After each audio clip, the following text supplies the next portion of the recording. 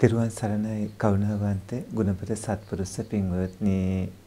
පුණ්‍යවන්ත ඔය සදහැවතුන් විවිධ රටවල සිටමින් අපින් අසා එවන් ලද දහම් ගැටළු වලට පිළිතුරු ලබා දෙන ධර්ම සාකච්ඡා වාරයේ 89 වන ධර්ම සාකච්ඡා වාරයයි මේ ආරම්භ කරන්නේ. සමන්ත චක්කවාලීසු අත්‍රා ගච්ඡන්තු දීවතා සද්ධම්මං මුනි රාජස් සුනන්තු සග්ග මොක්කදම් ධම්ම ශවන කාලු අයන් බදන්තා ධම්ම ශවන කාලු අයන් බදන්තා ධම්ම ශවන කාලු අයන් බදන්තා නමෝ තස් භගවතු අරහතු සම්මා සම්බුද්දස්ස නමෝ තස් භගවතු අරහතු සම්මා සම්බුද්දස්ස නමෝ තස් භගවතු අරහතු සම්මා සම්බුද්දස්ස කරුණාවන්ත ගුණබර සත්පුරුෂ පින්වත්නි. රත්නපුර පදිංචි සුපින්වත් ව්‍යාපාරික ජයලාල් ප්‍රේමසිංහ මැතිතුම් එම පින්වන්ත සාන්ති රන්තුන්ගේ මැතිණිය ජනිත් පුත්තා රිසිදුවනිය විසින් අප වෙනුවෙන් නිර්මාණය කර ගුරු පඬුරක් කර පූජා කළ මිනිපුර අමාසාන්ත තපවනාරාණ සේනාසනයේ සිට අපත් අප සිස්සේ අප රැකේ පඤ්ඤාසාර පොඩි හාමුදුරුවොත් ගම්පොළ සතිමන්ත පොඩි හාමුදුරුවොත් මේ විදිහට සම්බන්ධව කටයුතු කරන ලබනවා. පිංතුනි අද ඔය ඇත්තෝ අහලා තියෙන ප්‍රශ්නවල පළවෙනි ප්‍රශ්නය තමයි තෙරුවන් සරණයි ස්වාමින් වහන්සේ ඔබ වහන්සේ බොහෝ ශාසන කටයුතු කරන බව දනිමි. දැනට කරන කිසිදු කටයුත්තකට බාධාවක් නොවන ලෙස හා අනවශ්‍ය කායික වෙහෙසක් නොදරා ඔබ වහන්සේට ඉඩක් ලද විතක පමණක් අපහට pāli භාෂාව පිළිබඳ හැදෑරීමක් කිරීමට අවශ්‍ය කරන කරුණු ඇතුළත් වීඩියෝ පට අන්තර්ජාලයට මුදා හැරීමට හැකිනම් බෙහෙවින් පිං ස්වාමින් වහන්සේ තෙරුවන් සරණයි ස්වාමින් වහන්සේ කියලා. කරුණාවන්ත ගුණපර සත්පුරුෂ පින්වත්නි ඔය ඇත්තන්ගේ යෝජනාව බොහොම අගය කොට සැලකනවා. පින්වත්නි ඉඩ ලැබෙන වෙලාවට අපි අනාගතයේදී ඔය ඇත්තන්ට මූලික දැනුමට ඕන කරන යම් යම් කරුණු ලබා දෙන්නම්. නමුත් සාසනික කටයුතු වලදී අපි තෝරගත්තේ සාමාන්‍යයෙන් ස්වාමින් වහන්සේ නමකට කරන්න අමාරුම ටික. ඉස්සර අපි පාලි සංස්කෘත සිංහල සිසහම්දොඩු ගන්නමින් ඒ විදිහට කටයුතු සිදු කරන්නේත් නම් නමුත් වර්තමාන ශාසනයේදී බිස්සුන් වහන්සේ නමකට කරන්න අපහසුම ටික අපි තෝරගෙන අභිධර්මය උගන්වමින් තියෙන හැම දහම් ගැටලුවක්ම විසඳමින් කරකස කටුක සියලුම අපහසුම කොටස් ටික සිදු කරමින් ඉන්නවා. ඒක සිදු කරන්න කටයුතු කරන අපි අපේ භාවනා සහ ආධ්‍යාත්මික කටයුතු වලට වෙන් කළ තියෙන කාලය පොඩ්ඩක්වත් පාවිච්චි කරන්නේත් නැහැ. නමුත් මේ වෙනුවෙන් වෙන් කළ තියෙන කාලය සම්පූර්ණයෙන්ම යොදවනවා. ඉතින් කාලය පිළිබඳවත් යම් ගැටලු තියෙනවා. ඒ නිසා අපි ඉදිරියේදී අවශ්‍ය විදිහට සම්පූර්ණයෙන්ම pāli භාෂා පන්තියක් පවත්වන්න විදිහක් නැහැ. නමුත් ඔබගේ ඉල්ලීම අනුව ඒකට අවශ්‍ය කරන මූලික කරුණු අවබෝධය ලැබිය යුතු මූලික කරුණු පිළිබඳව මේ දැනුම ලබා දෙන්නම්. ඒ වගේම විශේෂයෙන් මෙතෙන්ද මතක් කරන්න ඕන පින්වත්නි වර්තමාන ශාසනික ගමන් මගේදී ත්‍රිපිටකයේ අටුවා ටීකා පරිවාර ග්‍රන්ථ විසුද්ධි මාර්ග සහ ඒ සියලුම අභිධර්මයේ මුල් කරගත් සියලුම පැතිකඩවල් ඔස්සේ ඒ තියෙන සියලු දුර්මත මර්ධනය කරලා දාමින් මගපල් ලබන්නට ඕන කරන පසුබිම් සකස් කරමින් සියල්ලම විවෘත කරමින් යන ගමන අපි සිදු කරමින් සිටින්නේ වර්තමානයේ බිස්සුන් වහන්සේ නමකට කරන්න අපහසුම කාරණා ටික තෝරලා හොඳට බලලා ඒකට අපි අත තියලා කටයුතු කරලා තියෙන හින්දා සීමා සහිත ප්‍රමාණයකට පමණක් ඔබේ ඉල්ලීමට අනුව කටයුතු කරලා දෙන්නම්.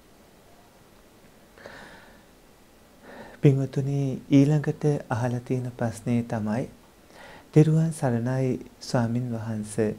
ජාතක කතා පොත පිළිබඳ පැහැදිලි කිරීමක් කර දෙන ස්වාමින් වහන්සේ.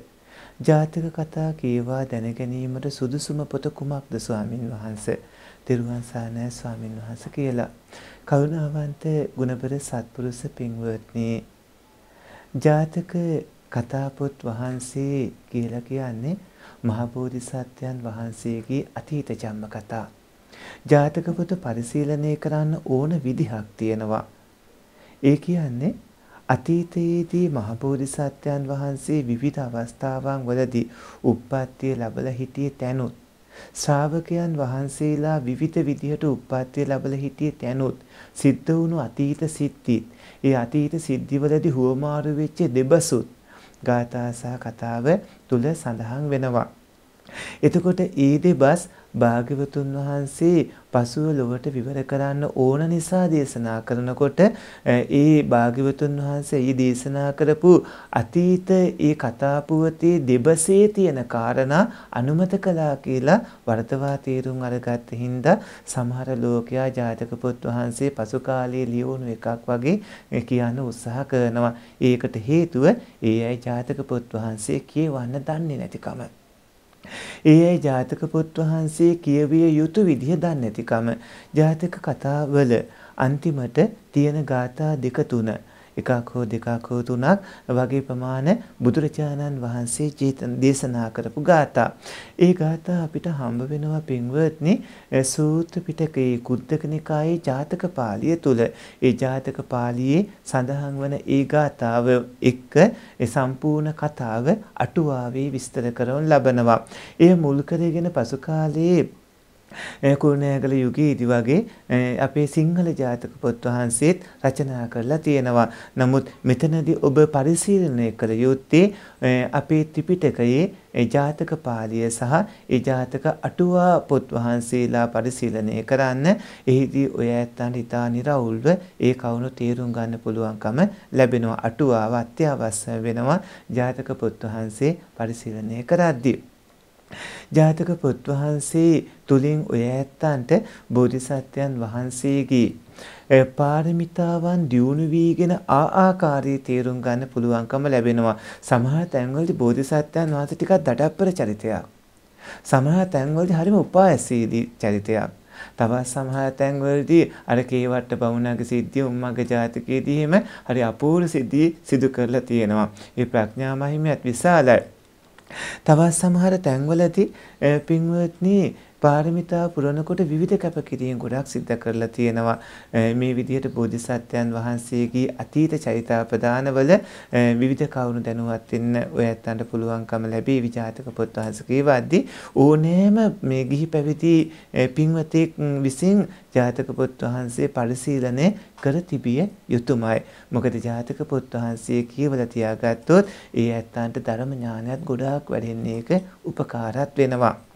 ජාතක කතා කියවා දැනගැනීමට සුදුසුම පොත මොකක්ද කියලා ඇහුවොත් පින්වත්නි ජාතක කතා කියවා දැනගන්න ඔය ඇත්තන්ට සුදුසුම පොත් අපි මේ කිව්වේ ජාතක පාළිය සහ එහි අටුවා පොත් වහන්සේලා.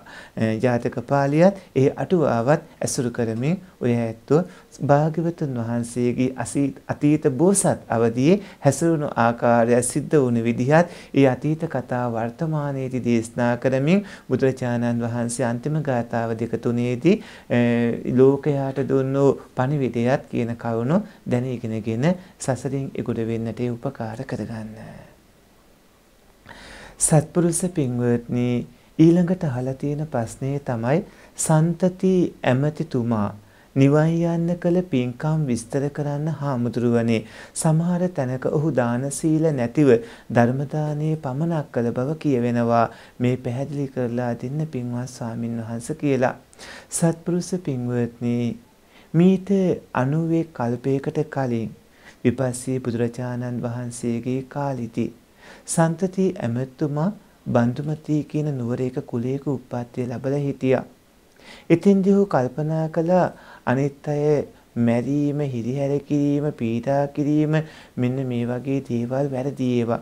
මං ඒව කරන්නේ නැතුව මං ධර්මයේ කියා දෙන්න ඕන කියලා. ධර්මයේ කියා දෙමින් දන් දෙන්න අනිත් අයව උනන්දු කෙරෙව්වා. සිල් රකින්න උනන්දු කෙරෙව්වා. කාමයේ වාදවා හැසිරීම බොරු කීම් ආදියෙන් වළක්වන්න උනන්දු කෙරෙව්වා. ඒ ධර්මයේ කියලා දෙමින් කටයුතු කරනකොට ඒ සන්තති ඇමෙතුමාට ඒ කාලේ ඒ ධර්මයේ ඉගෙනගත් ගෝලියෝ දානවලට ආරාධනා කරන්න ඇති සීල වැඩසටහන් වල ආරාධනා කරන්න ඇති. ඒ පින්කම් ඉතින් කරන්න ඇති. පින්වත්නි මේ විදිහට පින්කම් කරන්න කියලා අනිත් අයට උගන්වන අයට ඒ ගන්නේ අමාරුම තීරණේ. අර අනිත්වා නොකරනවා කියන එකෙන් නෙමෙයි ඒක අදහස් කරන්නේ. දන් දෙන්නේ නැහැ, සිල් රැක්කේ නැහැ, භාවනා කළේ නැහැ කියන එක නෙමෙයි අදහස් කරන්නේ. මොකද මේ ලෝකේ අමාරුම දෙයක් තමයි ධර්මයේ කියා දෙනවා කියන එක. ධර්මයේ කියා දෙනවා කියන අමාරු තැනට එනවා නම් අරව ඔක්කොම කරලා තියෙන කෙනෙක් වගේම කරන කෙනෙකුත් වෙනවා. ධර්මයේ පිළිපත්න ඇත්තෝ ධර්මයේ කියලා දෙනකොට තමයි අනිත් අය මේ ඒක පිළිගන්නත් සූදානම් වෙන්නේ. මෙතෙන්දි ධර්මයේ කියා දෙන දුන්නා විතරක් කියන ඒ ගන්න එපා මේ වචනේ ඇතුළත ලুকু කතාවක් තියෙන පාරමිතා ඔක්කොම ක්‍රියාත්මක කරපු ආකාරයේ ඒකේ සඳහන් වෙනවා කියවෙනවා. එතකොට ධර්මගෝසා පවත්වමින් මහජනයා සතුටු කරමින් පින් කරමි කියලා සඳහන් වෙනවා. බුද්ධ ආදී තුනුරුවන් කෙරෙහි සංඝ සත්කාර කටයුතුත් නොඅඩුවම සිද්ධ කරලා තියෙන ඒක අටුවාව බැලුවාම ඔය ඇත්තන්ට තේරුම් ගන්න පුළුවන්කම ලැබේවි. ඒ විදිහට සන්තති ඇමතුමාගේ කතාවේදී දාන සීල නැතිව ධර්ම දානයක් විතරක් කළා කියලා කවුරු හරි කිව්වොත් අටුවා පරිශීලනය කරලායි දැනගත යුතු කාරණා හරියට දැනගන්න නැතුව වරදවා කියලා තියෙන්නේ නෑ පින්වත්නි ධර්ම දානයේ තමයි අමාරුම දේ ඉහළම දේ සියලු දාන වලට වඩා උසස්ම දානේ උසස්ම දානේ කරන උදවිය ඊට වඩා පහළින් ඇති අනිකුත් සියලුම දාන සිද්ධ කරන බව මතක තියාගන්න. දානේ විතරක් නෙමේ සීල නෙක්කම ප්‍රඥා විරිය කාන්ති සත්‍ය අදිඨාන ආදී සියල්ලම සිදු කරපු හින්දා තමයි මේ හැම විපාකයක්ම සන්තති ඇමති විදිහට ඉන්න අවස්ථාවෙත් ලැබුණේ.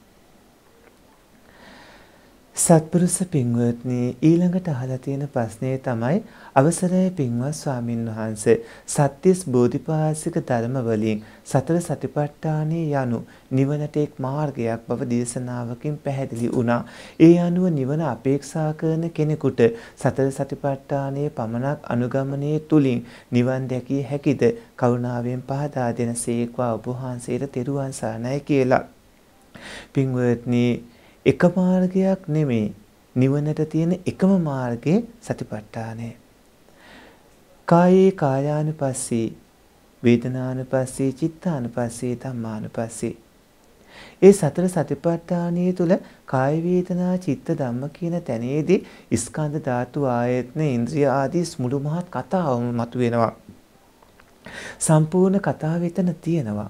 පින්වත්නි ඒ සත්‍තිස් බෝධිපාසික ධර්ම වැඩෙනවා. සත්‍තිස් බෝධිපාසික ධර්මවල සතර සතිපට්ඨානය ගැන සඳහන් වෙනවා.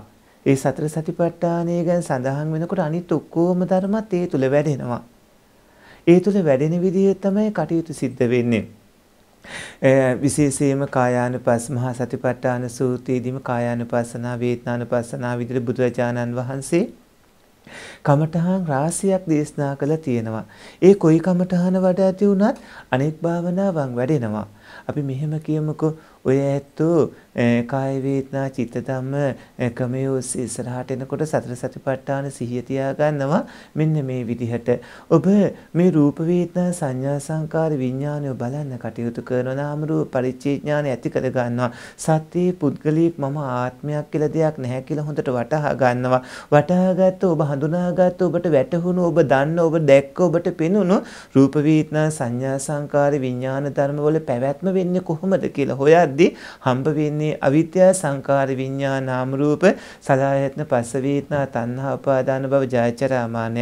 ඔය ඇත්ත ඒ ඔස්සේ සිත මෙහෙවමින් කටයුතු කරනවා. බලන්නකෝ ඔය ඇත්තන්ට සතර සතිපට්ඨානය සතර සම්‍යක් ප්‍රදාන් වීද සතර ඉද්ධිපාද පංච ඉන්දිය පංච බල බොච්චංග ධර්ම හත ආදෂ්ඨායක මාර්ගාංග ඔය බෝධිපාසක ධර්ම 37ම වැඩුත් නැද්ද කියලා අදිත්‍ය විසුද්ධියේදීත් කාංකා විතරණ විසුද්ධියේදීත් වගේම මග්ගා මග්ග ප්‍රතිපදා ඥාන දර්ශන ඥාන දර්ශන විසුද්ධි හැම අවස්ථාවකදීම මේ බෝධිපාසක ධර්ම වැටෙනවා පින්වත්නි. එතකොට සතර සතිපට්ඨාන සිහියෙන්ම ඔය ඇත්තෝ කටයුතු කරන්න බෝධිපාසක ධර්ම වැඩෙමින් එකටම යෙදෙන බෝධිපාසක ධර්මයෝ එකටම යෙදෙන මාර්ගසිතකින් කෙලසුන් නැසා සසරින් එතරව නිවන් දකින්නට කටයුතු කරගන්න. සත්පුරුෂ පින්වත්නි ඊළඟට අහලා තියෙන ප්‍රශ්නය තෙරුවන් සරණයි පින්වත් ස්වාමින් වහන්සේ නිවන් මඟ යන කෙනෙකු අනුගමනය කළ යුතු ක්‍රමානුකූල පිළිවෙල සඳහා අවබෝධයක් ලබා දෙන්න තෙරුවන් සරණයි ඔබ වහන්සේට කියලා. පින්වතුනි නිවන් දකින්නට යන ගමනේදී ඔය ඇත්තෝ ආර්ය අෂ්ටාංගික මාර්ගයේ පිළිපදින්න ඕන. එතනදී ඔය පින්වතුන්ට දැන් ලැබිලා තියෙන මේ මනුස්ස ජීවිතේ ඉන්න පුළුවන් පරමාවස අවුරුදු 100ක් වුණාට එතෙක් කාලයක් ඉන්න බැරි විදිහට පෙර සංසාරයේදී සතුන් මැරීම් කරලා තියෙනවා නම් අද හෙට හරි මැරෙන්න පුළුවන් ඔබ. ඒ වගේම ඔය ඇත්තෝ විවිධ විදිහට සොරකම් කිරීම, කාමයේ වාදවය හැසිරීම වගේ අකුසල කර්ම කරලා තියෙනවා නම් අනිවාර්යෙන් කරගෙන තියෙනවනේ සංසාරේදී. ඒවා දැන් විපාක දෙනකොට ඔබට බොහෝ කාලතර හිරිහැර පීඩා එනවා. දුප්පත්කම්, ඒ වගේම හතුරුකම්, රැවටීම්, නිന്ദා, අපහාස, අවලාද වලින් ඔබේ ජීවිතේ පිරෙනවා.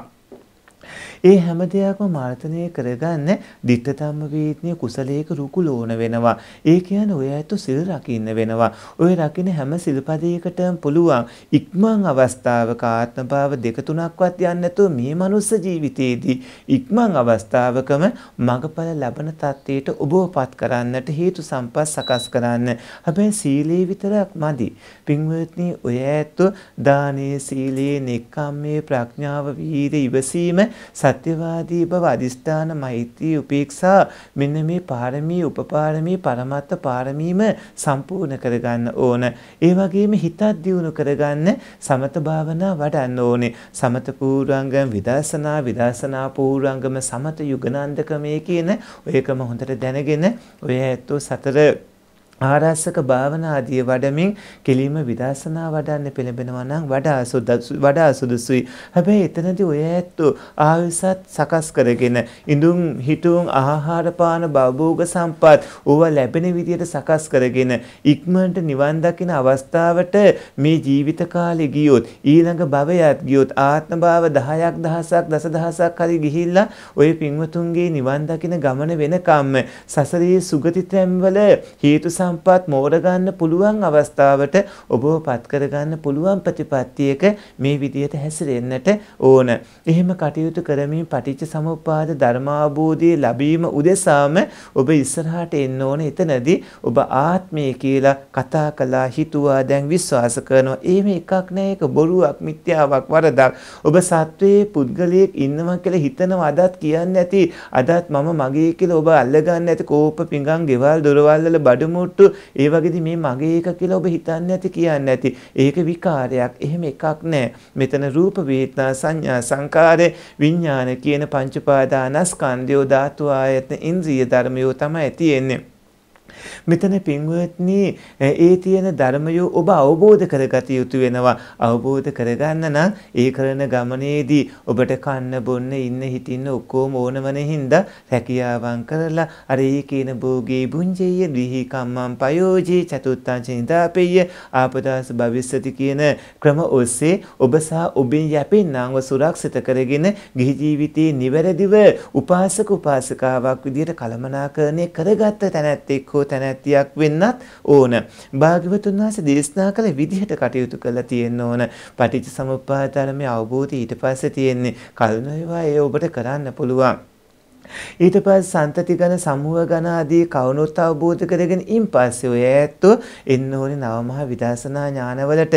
ත්‍රිභූමික සංස්කාරයන්ගේ උදයව්‍ය දකිමින් බංග ආදී දකිමින් ඉදිරියට කටයුතු කරගෙන යන ඔය පින්වතුන් මේ මනුස්ස ජීවිතේම මගපල් ලබන්න කටයුතු කරගන්න ඕන. පිළිවෙලින්ම අනුපිළිවෙලින්ම මෙලොව පාරලොව දෙලොවම දුගතියට නොවැටෙන ක්‍රමයකට සීලාදියෙන් සකස් කරගෙන ඔය ඇත්තෝ අකුසල් සිත් 12 ඇති කරගන්න ගන්න නැතුව අකුසල්සිත 12ට විඳින්න වන පීඩාව දැනගෙන අටමහා කුසල්සිත ඇතිවන විදියට කුසලස් උපසම්පදා ක්‍රමය සකස් කරගෙන ඉක්මනටම මේ භයානක සසරින් එගොඩ වෙන්න ඕන ඔබේ ආයුෂ අවසන් වෙන්න මේ ජීවිතයේ අවසන් වෙන්නට කලින්. සතර ක්‍රමයෙන් එක් ක්‍රමයකට මාන්නයටපත් වෙන්නට පෙර ඔය ඇත්තෝ හිස් අතින් ආ හිස් පුද්ගලයෙක් විදිහට යන්නේ නැතුව හිස් අතින් ආ නමුත් මගපල් ලැබූ උත්තමයෙක් උත්තමාවියක් විදිහට සසර නිමා කරගන්න කරගන්න අදිස්ථාන කරගන්න පසුතැවෙන්නේ නැතිව. ඊළඟට අහලා තියෙන ප්‍රශ්නය තමයි අවසරයි පින්වත් ස්වාමින් වහන්සේ. මහා බද්ද කල්පයක් අවසානයේදී බුදුරජාණන් වහන්සේ නමක් පහළවන්නේ බුදුරජාණන් වහන්සේලා ලක්ෂ සංඛ්‍යාවක් මෙලෝ පහළ වී ඇත යන්න කරුණාවෙන් පහදා දෙන සේක්වා. සාදු සාදු කියලා.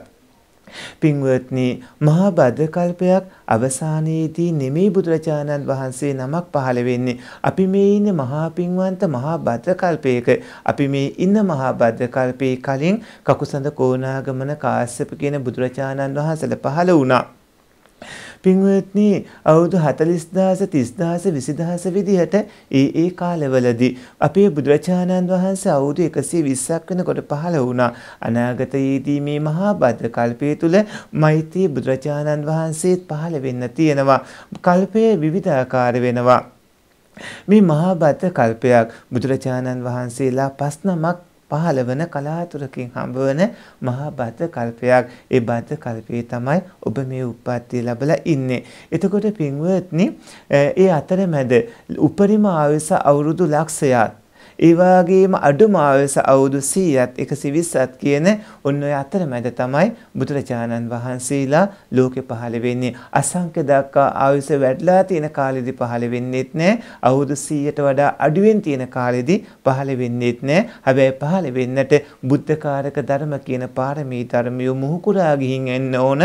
සොලසා සංඛ අෂ්ටා සංඛ සාරා සංක කියන කල්පලක්ෂ ගණනින් පාරමී දම් පුරලා.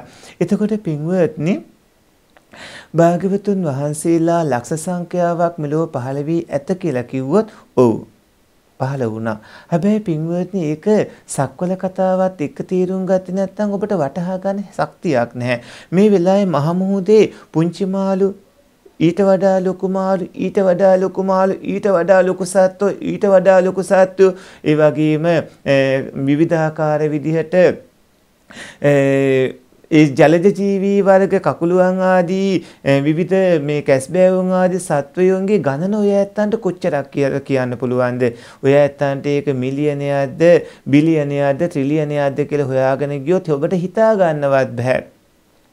එතකොට බිත්තරවලට මේ ආවසත්වය ගර්භාෂවලට ආවසත්වය කුණුබිම් තෙත්බිම් වල උප්පත්තියට ආවසත්වය ඒ වගේම ඕපාතික උප්පත්ති ලබන සත්වය ඒ උපතට පැමිණිය ඇත්තෝ සති දෙක තුන පහු කරපු ඇත්තෝ ඉපදුණු ඇත්තෝ ළමාවිය පහු කරන ඇත්තෝ තරුණවිය මැදිවිය පහළු පහු කරන ඇත්තෝ මැරෙන ඇත්තෝ විදිහට බැලුවොත් ඔය ඇත්තන්ට සත්ත්ව ප්‍රමාණය හිතා ගන්නත් බෑ. එහෙම මේ එක සක්වලක් මේ සක්වලේ සතර අපා මනුස්ස දිව්‍ය බ්‍රහ්ම විදිහට ගත්තාම අනන්ත අප්‍රමාණ සත්ව කොට්ටාස ඉන්නවා. එතකොට පින්වත්නි මේ එක සක්වලක්. මේ සක්වල කතාව ඔහොම තියෙද්දි මේ වගේ සක්වල වල තව වටේ තියෙන චූලනිකා ලෝක ධාතු දිහිසාසී මහසී ලෝක ධාතු ගන්නෙන් ගියාම කෝටි ලක්ෂ ගන්නෙන් ඇති.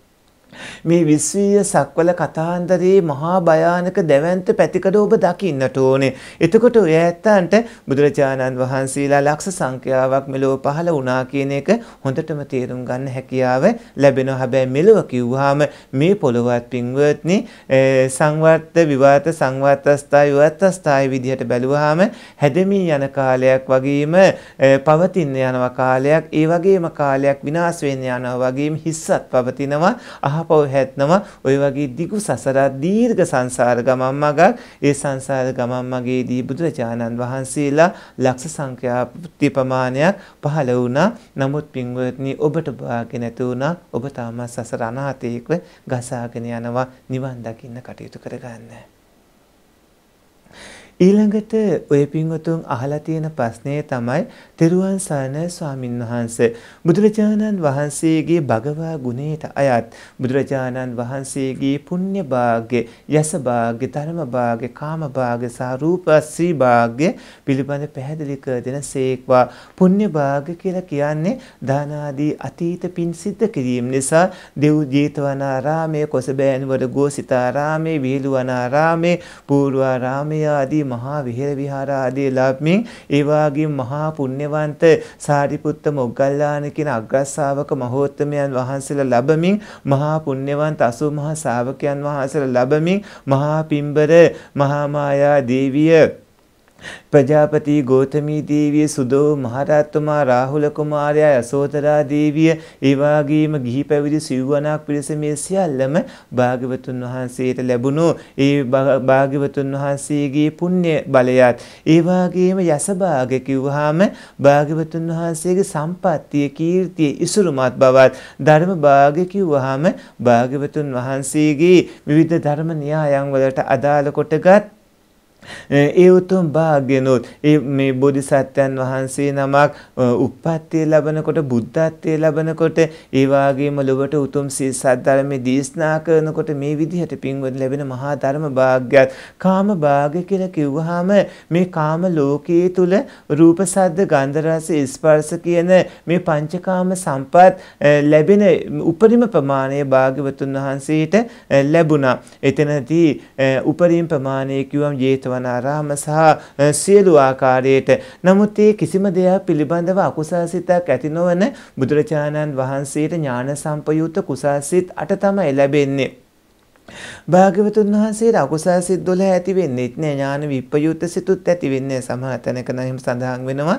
නමුත් ඥාන විප්පයුත් සිතුත් ඇති වෙන්නේ ඥාන සම්පයුත් සිත් ඇති වෙන්නේ එතකොට අර රූප සද්ද ගන්ධ රස ස්පර්ශ කියන පංචකාම සම්පත් භාග්‍යවතුන් වහන්සේගේ මහා පින්බලය නිසා ලැබුණාට අර සිහිනේ දකිනකොට අසුචි කන්දේ නොගෑවී සක්මන් කළා වගේ භාග්‍යවතුන් වහන්සේ කටයුතු කර නමුත් ඒ ලැබීමේ භාග්‍ය තියෙනවා. ඒ වගේම භාග්‍යවතුන් වහන්සේගේ රූපස්සිය ගත්තාම දෙතිස් මහා පුරුෂ ලක්ෂණ 80 ව්‍යංජන ලක්ෂණයන්ගෙන් සෝභමාන වුණු ඒ අතීතයේ කරගත්ත මහනීය පාරමී උපපාරමී පරමත්ත පාරමිතාවන් මුහු කුරා ගිය සාරාසංක කල්පලක්ෂයක පිරූ පාරමී දම් මුහු කුරා යෑමේ යෑමේ අවසානයේ විදිහට දෙතිස් මහා පුරුෂ ලක්ෂණ පහළ වීමේ භාග්‍ය වගේ ඒ කාරණා තමයි මෙතන මෙතන කියවෙන්නේ පින්වත්නි භගවා බුදුගුණයේ තුල කියවෙනවා තාම මහත්ය ගැනත් කියනවා මානසිකව හටගන්නා අතිමහා ශක්තිය ප්‍රබල ශක්තිය මහා බලය ගැනත් සඳහන් වෙනවා. බුදුරජාණන් වහන්සේගේ සීභාග්‍ය ස්වභාවයන් පිළිබඳව ඒ විදිහට තේරුම් ගන්නට ඕනේ. සත්පුරුෂ පින්වත්නි ඊළඟට අහලා තියෙන ප්‍රශ්නය රහතන් වහන්සේ නමක් තවත් කවුරුවත් ඇසූ පමණින්වත් තමන්ගේ රහත් බව ගැන ප්‍රකාශ කරන්නේ නැතිද? උදාහරණයක් ලෙස තවත් කෙනෙකු අවබෝධයට පත්වෙලා දැයි සිටින්නේ යනුවෙන් ඇසුවොත් ඔව් මම අවබෝධයට පත්වෙලා සිටින්නේ යනුවෙන් කිව්වොත් ඒ අය සැබෑම රහතන් වහන්සේලාද? රහතන් වහන්සේලා එසේ තමන්ගේ රහත් බව ගැන නොකියන බව මා අසා තිබේ. මේ පහදා දෙන්න ස්වාමින් වහන්සේ තෙරුවන් සරණයි කියලා. සත්පුරුෂ පින්වත්නි රහතන් වහන්සේ නමක් කියන්නේ ශාස්ත්‍රූන් වහන්සේ නමකට නෙමෙයි. රහතන් වහන්සේලා කිව්වහම අග්‍රස්සාවක මහා ශාවක ප්‍රකෘති ශාවක කියන මේ ශ්‍රාවක තුන්ගොල්ලටම අයිති වෙනවා. එතකොට පින්වත්නි ඒ සියලුම උත්තමයන් වහන්සේලාට එක වගේ අවබෝධයක් ඇති වෙන්නේ නැහැ. කෙලසුන් නැසීමේ වෙනසක් නැහැ. නමුත් අග්‍රශාවක උතුම වගේ ප්‍රබල නැහැ අසු මහා ශාවක උත්තමයෝ ඒ තරම් ප්‍රබල නැහැ අනෙක් අනෙක් උත්තමයන් වහන්සේලා. එතකොට රහත් වීමෙන් කෙරෙන කෙලෙසුන් නැසීම ශාස්ත්‍රෝන් වහන්සේ නමක් වෙන්න බෑ රහතන් වහන්සේ නම්කට රහතන් වහන්සේත් බුදුරජාණන් වහන්සේ දේශනා කළ විදිහටමයි කවුණු දැනගෙන අනිත් අනිත් ඇතු දැනුවත් කරන්න ඕන හැබැයි හැම රහතන් වහන්සේ නමකටම අනිත් ඇයට ධර්ම දේශනා කරන්න එහෙම හැකියාවකුත් ලැබෙන්නේ නැහැ. එතකොට රහතන් වහන්සේ නමක් කවුරුවත් ඇසූ පමණින්වත් තමන්ගේ රහත් බව ගැන ප්‍රකාශ කරන්නේ නැද්ද? ප්‍රකාශ කරන්න හැකියාවක් කිසිසේත්ම නැහැ. පචිති 92කින් මුසාවාද වර්ගයේ එන අටවැනි පචිතියට යන්න. භූතාරෝචන ශික්ෂාපදයට එන්න. ඔය ඇත්තන්ට යෝපන බිකු අනුපසම්පන්නස්ස උත්තරී මනුස්ස ධම්මං ආරෝචියං භූතස්මින් පාචිත්‍යං කියලා අපූර්වට හම්බ වෙනවා භාග්‍යවතුන් වහන්සේ දේශනා කරපු යම් භික්ෂුවක් උපසම්පදා නැති කෙනෙක්ට තමන් ළඟ තියෙන උතුම් මිනිස් දහම් කියනවාද පචිති වෙනවා කියලා. එතකොට තියෙන දේවල් කාටවත් කියන්න පුළුවන් කමක් නැහැ උපසම්පදා නොවුණු සාමණේර කෙනෙක්ට සහ උපාසක උපාසිකාවන්ට ඉතින් කවුරු හරි කෙනෙක් මොන හරි දෙයකින් ඇහුවොත් ඔබ වහන්සේ රහත් වෙලාද කියලා පින්වත්නි ඔව් මම අවබෝධයට පත් වෙලා තියෙන කියලා ව්‍යංගයෙන් ඇහුවත් එහෙම කියන්න හැකියාවක් බිස්සුන් වහන්සේට කිසිසේත්ම නැහැ. ඒකට හේතුව තමයි යෝපන බික්කු අනුපසම්පන්නස්ස උත්තරී මනුස්ස ධම්මං ආරෝචෙය්‍ය භූතස්මින් පාචිත්‍යං කියන ශික්ෂාපදයට අනුව. ඊළඟට අහලා තියෙන ප්‍රශ්නය තමයි තෙරුවන් සානෑ පින්වත් ස්වාමින් වහන්සේ. රැකියාවේ හැටියට ගණිකා වෘත්තිය කරන කාන්තාවක් සමග කාමසේවනයේ සහ ලිංගී කටයුතු කිරීම පංචශීලයේ කැඩෙනවද? අකුසලයක් සිදු වෙනවද? දුම්බීම එනම් සිගරට් බීම තුලින් පංචශීලයේ කැඩෙනවද? අකුසලයක් සිදු වෙනවද? ඔබ වහන්සේට නිදුක් නිරෝගී සුවේ දීර්ඝායුෂ ලැබේවා ප්‍රාර්ථනීය බෝධියකින් උතුම් චතුරාර්ය සත්‍ය ධර්මය අවබෝධ වේවා කියලා. සත්පුරුෂ පින්වත්නි ගණිකා වෘත්තිය කරන කාන්තාවන් සමග කාමසේවනයේ ලිංගික කටයුතු කිරීමෙන් පංචශීලයේ කැටමති කියලා ඇහුවොත් ඔය ඇතු දසභාර්යාවන්ට අවධානය යොමු කරන්නට ඕනේ. දසභාර්යාවන්ගේ ධනක්කීත කියලා ධනේදී භාර්යාවක විදිහට තබා ගැනීමේ අදහසින් මිලටගත් බිරිඳක් ඉන්නවා. ඒ වගේම චද්දවාසනයේ කියලා ස්ත්‍රියක් පුරුෂයෙක් සමග යන්න කැමති පුරුෂයා ඇගේ කැමැත්ත පිළි අරගෙන බිරිඳ කරගන්නවා නම් ඒ බිරිඳ. ඒ වගේම වංගෙඩි මෝල්ගහ ආදී ගෘහපකාන ලැබී බිරිඳක් බවට පත්වන භෝග වාසනයේ බිරිඳ. ඒ වගේම ඇඳුමක් ලැබීමෙන් බිරිඳක් බවට පත්වන දුප්පත්යේ පටවාසිනී බිරිඳ. ඒ වගේම ඕද පත්තකිනී කියලා කියන මේ ජලයේ වගේ වෙන් නොවි වාසය කරන්න කියලා දියබඳුනක ස්ත්‍රී පුරුෂ දෙන්නගේ අත දාලා බිරිඳ බවට පත් කරපු ස්ත්‍රිය. ඒ වගේම ඕබත උඹ උඹටා කියලා කියන දරාදී හිස තබාගෙන අදින කාන්තාවගේ හිස මත තබන රෙදි කඩ ඉවත් කරවලා බිරිඳ පවට පත් කරගත් ස්ත්‍රිය.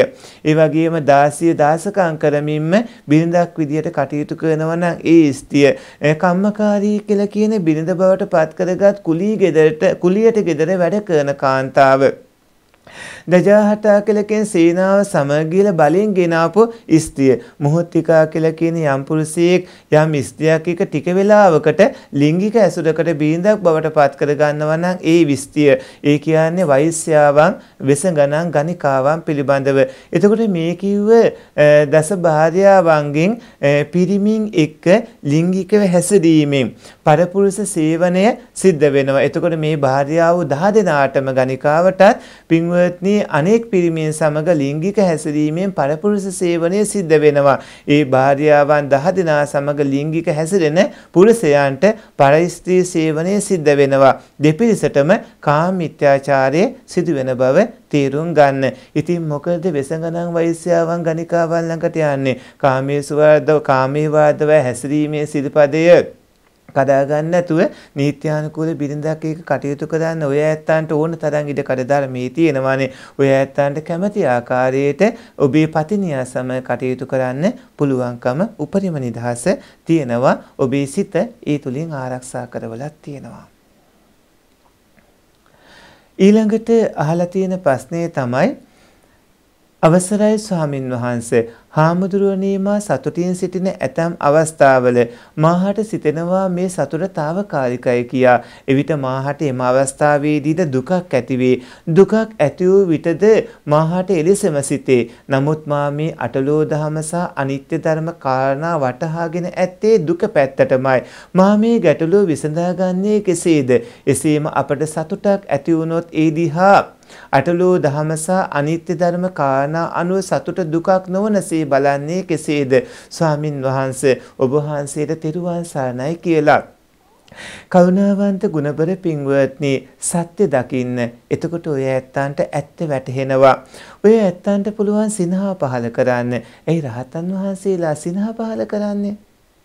ඔය ඇත්තන්ට පුළුවන් පින්වත්නි සතුටින් කටයුතු කරගන්න. සෝවාන් උතුම සිනහ වෙලා සන්තෝෂයෙන් හරි අපූර්වට ඉන්නේ. ඉතින් ඔය ඇත්ත සතුටින් hina වෙලා ඉන්න බුදුදහම තුල සතුටයි තියෙන්නේ. බුදුදහම තුල අකුසල් සිත් 12 නැති තැන කොච්චර සතුටක් තියෙනවද? සතුන් මරණ කෙනා සතුන් මරන්නේ අකුසල සිත් වලින් සතුන් මරන්න නැති කෙනා ලබන නිර්ාමිස ප්‍රීතිය කොහොමද? අබේදානේ දුන්නු කෙනා ලබන ප්‍රීතිය කොහොමද? ඒ සතුට ඔබට තහනන්ද? ඒ වගේම සොරකම් කිරීමෙන් වැළකීලා ඉන්නකොට ඔබට ලැබෙන සතුට ඒ වගේම කාමේවාදවා හැසිරিলা අන්සතු කාන්තාවන් පිරිමින් පරිහරණය කරන්නේ නැතු වීදී ඔබට ඇතිවන සතුට. බොරු කීම කීලාම් කීම සැරපවස වචන කතා කිරීම හිස් වචන කතා කිරීම දැඩි ලෝභයේ කීර්ති යෑම මිත්‍යා දෘෂ්ටිය කියන ඔය හැම අකුසලයක්ම කරගන්න නැතු ඉන්නකොට ඔබට ඇතිවන සතුට බලන්න. ඒ සතුට ඇති වෙන්නේ කුසල් සිත් එක්ක. ඒ ඇතිවන කුසල් සිත් දෙලෝ යහපත පිණිස පවතිනවා.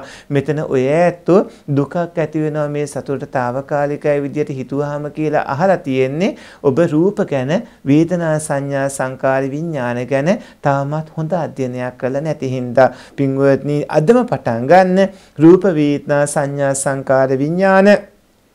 ස්කන්ධ ධාතු ආයතීන් ත්‍රියං කියන මේ ධර්මතාවයන් ඒවා හොඳට අවබෝධ කරගන්නකොට ඔබට පෙනේ දුක්ඛ සත්‍ය කියන්නේ පංච උපාදානස්කන්ධයට කියලා. hina වෙන්න සතුටු වෙන්න තහනමක් නැහැ බුදුදහම තුල. සිනහව සතුට සැනසෙල්ලට මංගල සූත්‍රයේ කවුණු 38 පිළිපැද්දොත් ඒත් හොඳටම ඇති. පින්වත්නි hinaව සතුට සැනසෙල්ල විතරක් නෙමේ සෞභාග්‍ය ධනය ධනවතුන් අතර ධනවතුන් බලවතුන් අතර බලවතුන් සතුටින් ඉන්නන් අතර ඉහළම සතුටින් ඉන්නන් තමයි බෞද්ධ ඇත්තෝ. දියුණු වන්නන් අතර හැම පැත්තකීම පෝෂණය ලබන්නන් අතර ඉහළම පිරිසක් තමයි බෞද්ධයෝ කියලා කියන්නේ. සිව්වනක් පිරිසට අයිති වන ඔය බෞද්ධයෝ ඔය ඇත්තෝ පින්වත්නි සතුටම ධනය කරගත්ත. සන්තුට්ටි ධනය ඔය ඇත්තන්ගේ ජීවිතේ බවට පත් කරගෙන ඒ තුලින් ඉන්න පුළුවන් දහම පිළිපදීද්දි මිත්‍යා මත ඇති කරගන්න එපා. දුක්ඛ කියන වචනේට අනියම් වචන ආදේශ කරලා බැලිය යුතු කාරණා බලන්නේ නැතුව දුකක් ඇති කරගන්න එපා. පින්වත්නි අටලෝ දහමට හැමදේ හැම අටලෝ දහමට හැමෝම මුහුණ දෙන්න සිද්ධ වෙනවා. නමුත් ස්කන්ධ ධාතු ආයතන ඉන්ද්‍රිය ආදී හැමෝගීම කාරණා ඒකේ තියෙන විදිහටම අවබෝධ කරගන්න. එතකොට ඔය ඇත්තන්ට පුළුවන් කොච්චර පීඩාකාදර කරකස කටුක ස්වභාවයන් තිබ්බත් අපූර්වට සසරින් එගොඩ වන ගමනේ අවශ්‍ය කටයුතු ටික සිද්ධ කරගන්න. එතකොට ඔය ඇත්තන්ට චතුරාර්ය සත්‍ය ධර්මයේ නොදන්නාකම කියන අවිද්‍යාව නිසාම මේ වැහිලා තියෙන පංච උපාදානස්කන්ධය දුකක් බව තීරේවි. පංච උපාදානස්කන්ධ පැවැත්ම නැත්තටම නැති කළා දාන්න කටයුතු කරමින් ඉදිරියට එන එක සැපක් බවත් තීරේවි. සත්පුරුෂ පින්වත්නි ඊළඟට අහලා තියෙන ප්‍රශ්නේ ගරු ස්වාමින් වහන්සේ. රාග දෝෂ මෝහ යන අකුසල මූලයන්ගෙන් තොරව දරුවන් බිහි කිරීම සිදු කළ හැකිද? එම ක්‍රියාවලියේ මුල සිටම මුල සිට අගටම කෙලෙස් ඇතිවීම නොවේද සිදුවන්නේ? රාගයෙන් තොරව දරුවන් බිහි කළ හැකිද? නැත්නම් දරුවන් බිහි කිරීම අකුසලයක් හෝ කුසලයක් නොවන්නේද? කරුණාවෙන් පහදා දෙන සේක්වා. ඔබ වහන්සේට නිදුක් නිරෝගී භාවයේ ප්‍රාර්ථනා කරනවා. තිරුවන් තෙරුවන් සරණයි කියලා. සත්පුරුෂ පින්වත්නි රාගදේශ මෝහ කියන අකුසල මූලයන්ගෙන් තොරව දරුවන් බිහි කිරීම සිදු කළ හැකිද කියලා ඇහුවොත් මෙන්න මේ විදිහට කටයුතු කළොත් නම් හොඳ අවබෝධයක් දරුගැබ පිහිටන්නේ ස්ත්‍රී පුරුෂ සංසේචනය කියලා දැනගෙන ඒ ඇත්තෝ විසින් පින්වන්ත දරුවන් බිහි කරලා ඒ ඇයට කලනිමිතුරන් වෙමින් ඒ ඇයගේ ජීවිතය සකස් කරවන්න අවබෝධයෙන් කටයුතු කරනකොට ඒ ඇත්තන්ට අර ස්පර්ශයත් එක්ක ඇතිවන ඒ ලෝභය මුල් කරගත්ත මෝහසිත එක්ක ටිකක් පින්වත්නි අකුසාසිත ඇති වෙන්න පුළුවන්. නමුත් ප්‍රබල විදිහටම ලෝභ ආදී වැඩෙන්නේ නැතුව තියෙන්න පුළුවන්. ඒ කොහොම වුණත් එහෙම ඉතා අතලොස්සක් දෙන අතර මේ වගේ ක්‍රියාවලියක් සිද්ධ වෙන්නේ මේ කොහොම වුණත් පින්වත්නි අඹසැමි ජීවිතයක් තුළදී කොහොමත් රාගය, ද්වේෂය, මෝහාදී කවුණු ඇති වෙනවා. ඒ ඇතිවන දේවල් බරපතල විපාක වෙන්නේ නැති විදිහට අල්පසාවද්‍ය කරගන්න පුළුවන්. ස්කන්ධ ධාතු ආයත ඉන්ද්‍රියයන් ගැන අවබෝධයෙන් කටයුතු කරමින් අල්පසාවද්‍ය කරගන්න පුළුවන්. විසාකා මහෝපාසිකා වගේ පුණ්‍යවන්තයෝ බවට පත් වෙන ඔබට පුළුවන්. විසාකා මහෝපාසිකාව අවුරුදු 7 දී සෝවාන් වෙලා තමයි තරුණ වයසේදී ඇයි විවාහ වෙන්නේ? විවාහ ජීවිතයේදී ලෝභසිත ඇති වුණා කියලා ඒවා ප්‍රබල කර්ම විපාක බවට පත්වෙන තත්වයන් අඩු ඒ කියන්නේ අල්ප සාවද්‍ය වන පැතිත් ගොඩාක් තියෙන බව තේරුම් ගන්න. විශේෂයෙන්ම ස්කන්ධ ධාතු ආයතන ඉන්ද්‍රියයන් ගැන දන්න කට්ටිය ජීවත් වෙනකොට හුඟක් වෙලාවට විනෝදයේ උදෙසා සතුට උදෙසා සාමාන්‍යයෙන් සැනසෙල්ලක් සතුටක් උදෙසා ඥාන විප්පයුත් මේ ditthිගත විප්පයුත් සිත් ඇති කර ගන්නවා. ඒ ඇති කර ගන්න ditthිගත විප්පයුත් සිත් පින්වත්නි ditthිගත සම්පයුත් සිත් තරම් බලවත් වෙන්නේ නැහැ. සෝහං මගපල උතුමන්ටත් ditthිගත විප්පයුත් සිත් තමයි ඇති වෙන්නේ. ditthිගත සම්පයුත් සිත් නැති කරගෙන කටයුතු කරන්න පුළුවන් නම් එහි කිසිදු ගැටලුවක් නැහැ. රාගයෙන් තොරව දරුවන් බිහි කළ හැකිද කියලා ඇහුවොත් පින්වත්නි එහෙම කරන්න පුළුවන් ක්‍රමක් තියෙනවා. දැන් හිතන්නකෝ ඒ විවිධ තියෙන නල මාර්ගයෙන් දැන් වර්තමානයේදී නලදරු සිද්ධ කරන්නේ නලදරු උපතේදී ශ්‍රුක්ක අරගෙන මේ වෙනම පරිේෂණ විදිහට කටයුතු කරලා ඒක ඩිම්බස් සමග වර්ධනය වෙන සලස්සලා ගර්භාෂය තුළ තැම්පත් කරලා දරුවා බිමෙලෝ බිහි කර ගන්න ක්‍රම තියෙන්නේ. එතෙන්දි රාගය කියන දේ වර්ධනය නොවන විදිහටම කටයුතු උනත් කරගන්න පුළුවන්කම තියෙනවා. නමුත් අඹසැමි ජීවිතයේ ධර්මානුකූලයි ස්වාමියා භාර්යාවගෙන් භාර්යාව ස්වාමි පුරුෂයාගෙන් ඒ ඒ කාමයේ මුල් කාමයේ මුල් කරගත් අඹසැමි ජීවිතය තුළ ඒ බලාපොරොත්තු සහ ඒ ගමන් මගේ යෑමේ කිසිදු වරදක් නැහැ. ඒ අය අකුසල පැත්තට බරවන එකත් නතර වෙලා තමන්ට උපන් කාමයේ උපන් ගීම පින්වත්නිය සංසිඳව ගන්න ඒ ඇත්තන්ට හැකියාව ලැබෙනවා. දරුවන් බිහි කිරීම අකුසලයක් හෝ කුසලයක් නොවන්නේද කියලා ඇහුවොත් දරුවන් ලැබෙන්නේ පෙර පිනකට දරුවන් නොලැබෙන්නේ පෙර පවකට දරුවන් නොලැබෙන්නේ පෙර පිනකට දරුවන් ලැබෙන්නේ පෙර පවකට ඔය විදි ඔය දෙවිදිහටම දකින්න. දරුවන් ලැබුණොත් සාංශාරික පින්වත්නි ජම්ම වෛරක්කාරයෝ තමන්ගේම ළමයි විදියට තමන්ගේම ශිෂ්‍යෝ විදියට තමයි යටතේම ඉන්න පිරිසට මේ දේවදත්ත හාමුදුරුවෝ වගේ සාංශාරික වෛරක්කාරයෝ ආවොතින් ඒ අම්මල තාත්තලට කොච්චරනම් හිරි හැර කරනවද වද දෙනවද ගහනවා බයිනවා මේ පුංචි කාලේ ආදරෙන් මුළු ජීවිතේම කැප කළ හදපු ළමයි ලොකු වුණාම මව්පියන්ට අතින් පයෙන් ගහලා තල්ලු කරලා විසි කරලා අතපය කඩලා බින්ලා දීපොළ වලට යන කොටාගෙන මොන තරම්නම් දේවල් කරගන්නවද? ඉතින් එහෙම දරුවෝ නම් නොලැබෙන තරමටම හොඳයි. හැබැයි දරු සම්පත් ලැබෙන්න කුසලයක් තියෙන්නත් ඕනේ. හැබැයි දරු සම්පත් නොලැබෙන්නත් කුසලයකින් පුළුවන්. කෙනෙක්ට විශේෂ ප්‍රාර්ථනාවක් තියෙනවා නම් අනේ මං උපදින උපදින ආත්මභාවය මට දරුවන් නම් ලැබෙන්න එපා. මට ඉක්මනින් සසරින් එගොඩ වෙන්න ඕනේ. මං උපදින හැම තැනකදීම බඹසරක් දකින්න මට හැකියාව ලැබේවා. කාමයේ හැසිරෙන්නේ නැති කෙනෙක් වේවා. මම බ්‍රහ්මචාරී ජීවිතයක් ගෙවන්නේක්ම වේවා කියලා කාන්තාවකට පිරිමියෙකුට පින්වත්නි එහෙම අදහසක් තියෙනවා නම් ඒ කට්ටිය අවිවාහකව දරුවෝ ලබන්නේ නැතුව ඉන්නවා නම් ඇත්තට මේ ජීවිතේ හරි වටිනවා. විවාහ වුණත් ඒ ඇත්තෝ දරු සම්පත් ලබන්න නැතුව කටයුතු කරනවා නම් එහි කිසිදු වරදකුත් නැහැ. මේ කාරණාව දීර්ඝ වශයෙන් එකින් එක එකින් එක අරගෙන විස්තර කරන්න ඕන කාරණාවක් මම මේ කෙටියෙන් ඔය ඇත්තන්ට කිව්වේ අඹසැමි ජීවිතයේ ඔය ඇත්තු ගත කරන්න ඒ ජීවිතේ වරදක් නැහැ. දරුවන් බිහි කිරීම අකුසලයක් හෝ කුසලයක් නොවන්නේද කියලා ඇහුවොත් ඒක කුසලයකුත් වෙනවා. ඒක අකුසලයකුත් වෙනවා. ප්‍රාර්ථනා ඇති නැති ස්වභාවයත් කර්ම විපාකවල මේ ඒ ලැබීම් නොලැබීම් වලට අදාළ විපාකත් ඒ වගේම තමන්ගේ සසරින් ඉගුඩවන ගමනට නික්කාම පාරමිතා පුරන්නටම අදිස්ථාන කරගෙන ආ කාන්තා පිරිමි පාසවල අදිස්ථාන ආදී නිසා හරියට මේ අතීත උතුමන්ගේ වගේ ඒ වගේ කවුරු නිසා පින්වත්නි දරුවන් බිහි කරගන්න නැතුව ඉන්නත් පුළුවන්. ඒකට අදාළ කවුරු මේ නොලැබෙන විදිහට තමන්ව දියුණු කරගන්නත් පුළුවන්කම ලැබෙනවා.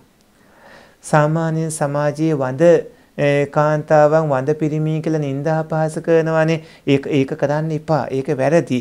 ඔබ ඒ ඇයට මේ මොහොතේ දරු සම්පත් නැති වෙන්නේ සමාහලාට පෙර පිනකට වෙන්න පුළුවන්. එක්කම පාරමිතාවත් එක්ක ඒ අඹසැමි ජීවිතයකට යන්නේ නැතුව ජීවිතේ ඉක්මන් අවස්ථාවකම රාගාදියෙන් වෙන් වෙලා සසරින් එගොඩ වෙන්න මට වාසනාව ලැබේවා වගේ ප්‍රාර්ථනා කරන අය ඕන තරම් ඉන්නවා.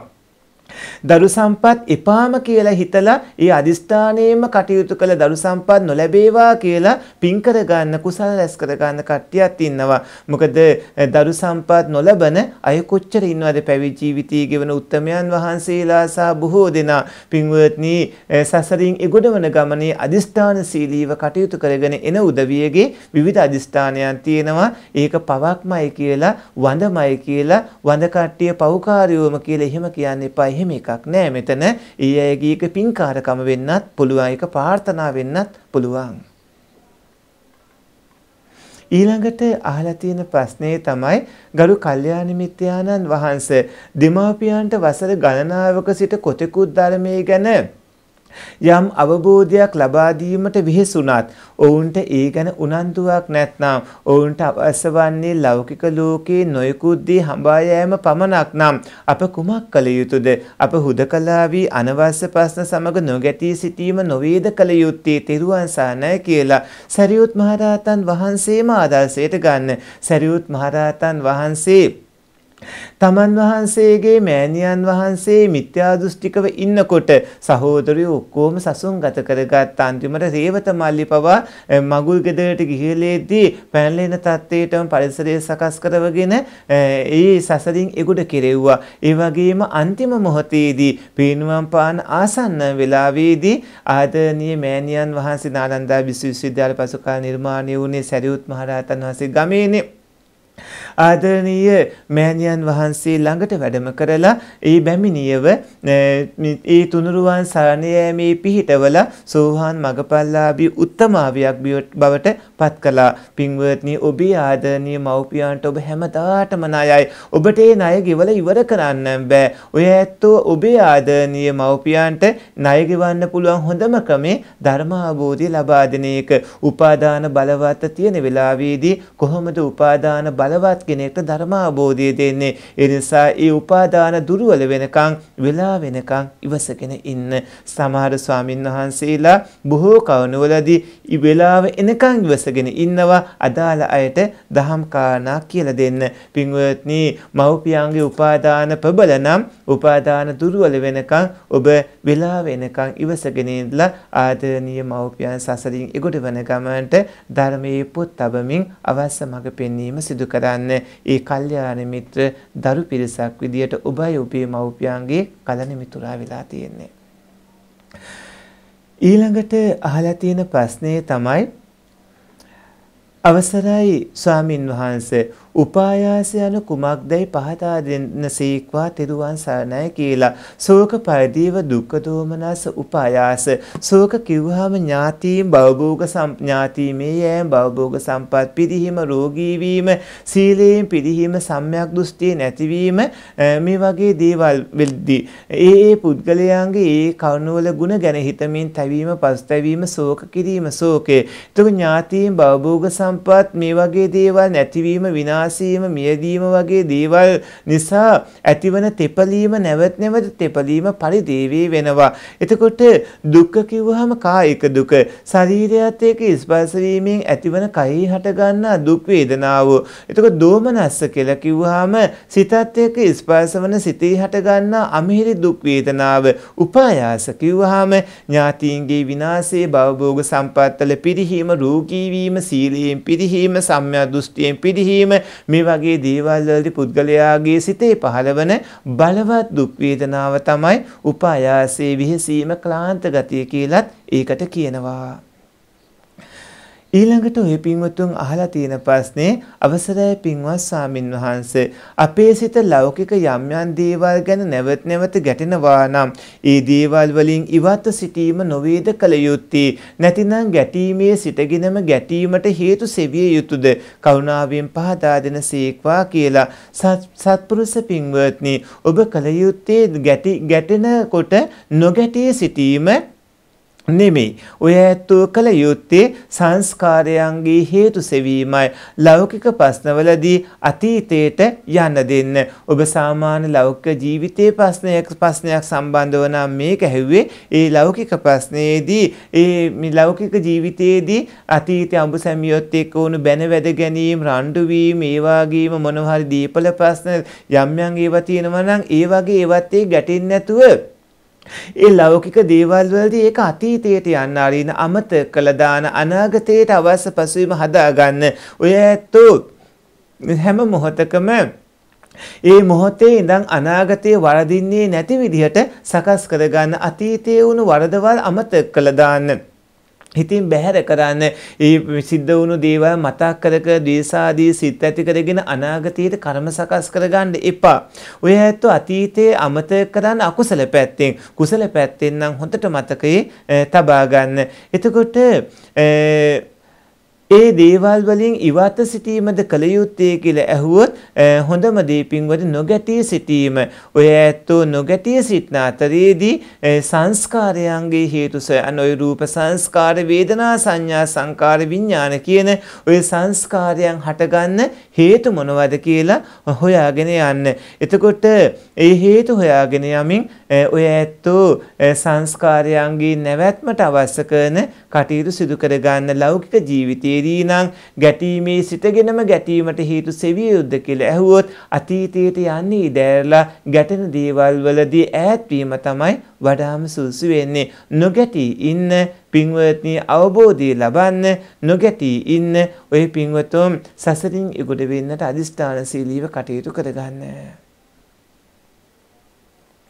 සත්පුරුෂ පින්වත්නි ඊළඟට අහලා තියෙන ප්‍රශ්නේ උතුම් තෙරුවන්ට වැඳ නමස්කාර කරමි. පින්වන්ත ගුණවන්ත සත්පුරුෂ අවසරයි පූජනීය වන්දනීය නායක සාමින් වහන්සේ.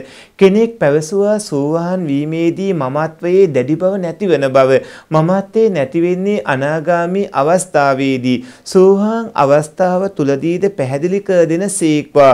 ඔබ වහන්සේට ඔබ වහන්සේ ඇතුළු ආර්ය මහා සංඝ රත්නයේටම සම්මා සම්බුදු සරණයි. සම්බුද්ධ ශාසනයේ සිව්වනක් පිරිස බොහෝ කල් සුරැකේවා කියලා.